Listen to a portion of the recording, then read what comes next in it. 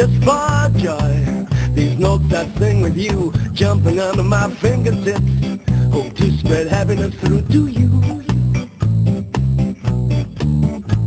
Like mischievous forest elves, those notes aren't scared of the game, frightening to those...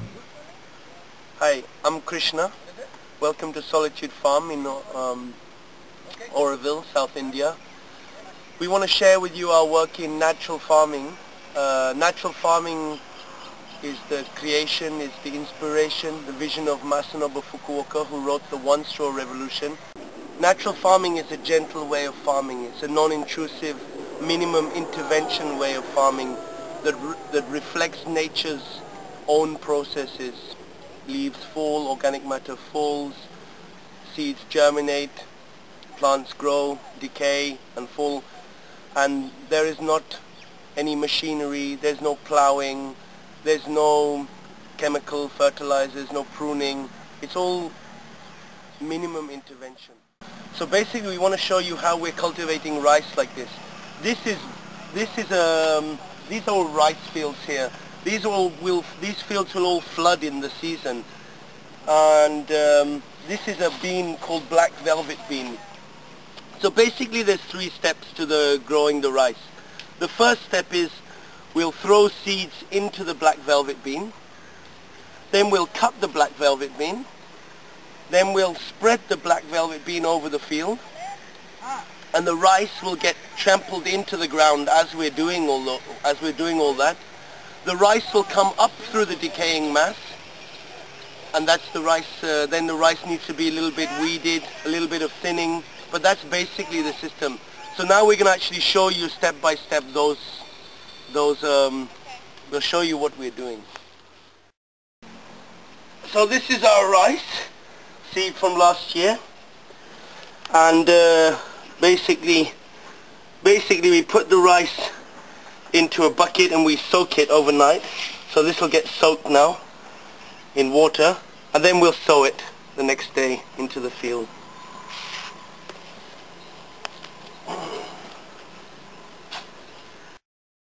So step one, firstly we sow the seeds. In Tamil culture we call this corner, the eastern corner, the Sunny's corner. Sunny means Saturn, Sunny Karamai, Saturday, Saturn's corner. So we always start sowing in this corner. So we just sow directly into the beans like this. This is Khaled and he's going to sow in the other direction just so we have quite a, a nice homogeneous germination. We also tend to oversow a little bit. We put a little bit more seed.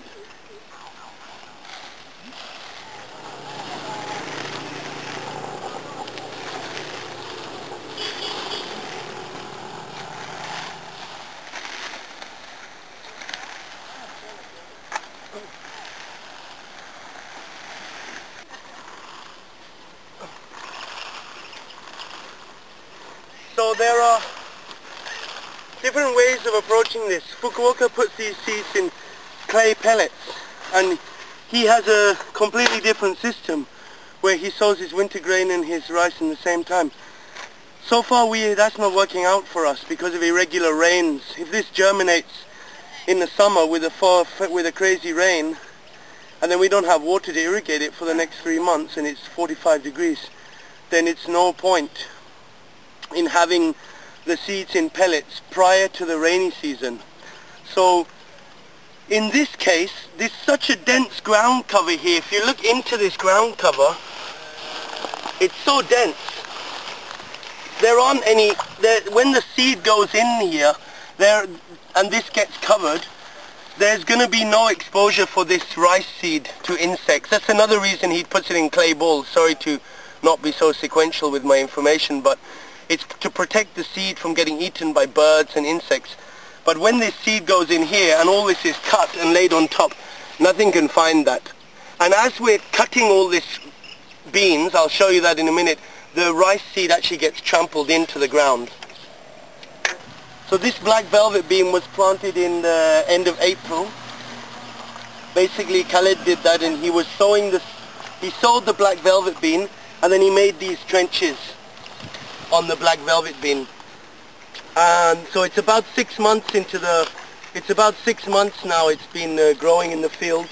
Now as we, what we do now is we have two people pulling it back and the other people go underneath and cut the, and cut the roots like this.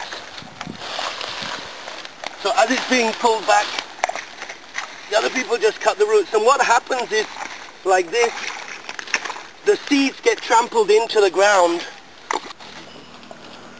You see, as we're, as we're working, the seeds are just getting into the ground like that. They just get trampled in naturally, automatically. Sometimes when you pull up the, when you pull up one of the roots as well, the soil comes up and covers the seeds as well. So they're automatically getting buried. So this is the step two. This is cutting the green manure. Yeah. And the ant. So you see there's a lot of life in this soil. Now it's full of life because it doesn't get ploughed. When you don't plough this soil you start to get a very beautiful soil structure and the soil is not exposed to intense heat. This soil is full of microorganisms, millions of microorganisms, bacteria, molds, earthworms. As you can see, loads of earthworms in here. You just keep picking them up. So actually the whole need of doing, uh, the whole question of doing vermiculture and all of those sorts of things is completely irrelevant because just by returning organic matter back to this soil and not ploughing it, the life is coming into this soil on its own.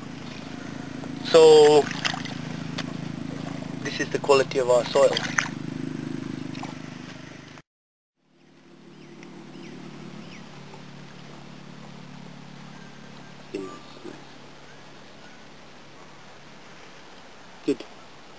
So there's a lot of advantages to doing this um, green manuring. It's an inherent, integral part of the natural farming. You can't do the natural farming without a green manure cover. Now there's various advantages of it within this system, of course, the main reason is it's a returning organic matter back to the soil. When this organic matter is, well, when it's alive and when it's dead, it's it's cooling the soil. soil. Uh, it's it's like if you've got an umbrella under the hot sun, it's giving a cover to the soil. As it's giving, as it's cooling the soil temperature, especially in the tropics, you're dropping the soil temperature by one or two degrees, and that gives the possibility of a lot more microorganismal um, activity, a lot more life, um, and it just basically helps the plants, you know. The roots of the black velvet bean like this, look, if you see here, these are all going through the soil. And you see, just I pulled up that one, I pulled up that one root. One, two, immediately I see three earthworms. Let's see if you dig in here, there's another one. There's another one. There's another one. I'm sure if we just keep digging we'll find more. Let's see. Anyway, the aim is not to collect all the earthworms, but just to show you that, again, the need to do vermiculture and all these other actions that man thinks is so clever and very great. Of course they're great and they're very useful in certain stages of regeneration of soil, but essentially they're unnecessary. Still as man thinks that he can do something better than nature, but actually all you have to do is return organic matter back to the soil and don't disturb the soil.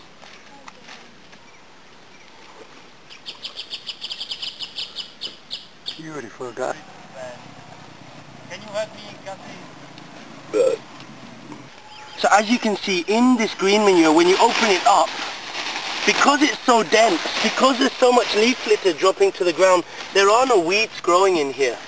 So the whole question of weeding a field and, and ploughing a field is completely superfluous because this green manure has suppressed any weeds. Play with us, frightening to those who never join the group. La la la la la la la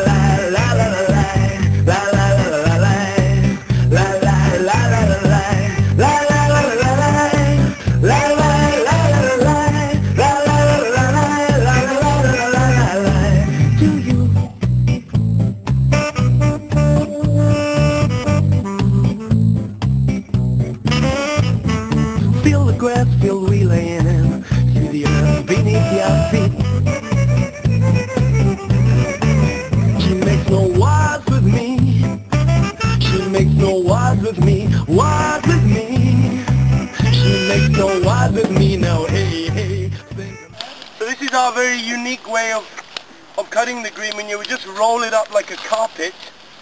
Check out this guy.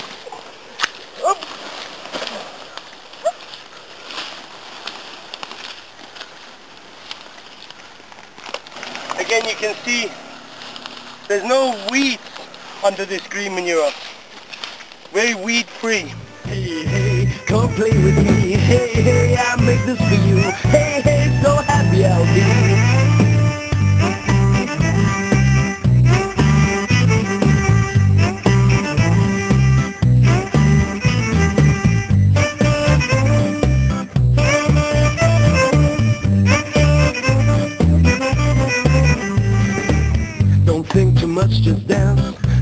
Just give all yourself to you. So after rolling the green manure up like a carpet, then we just simply roll it back again. This is step three.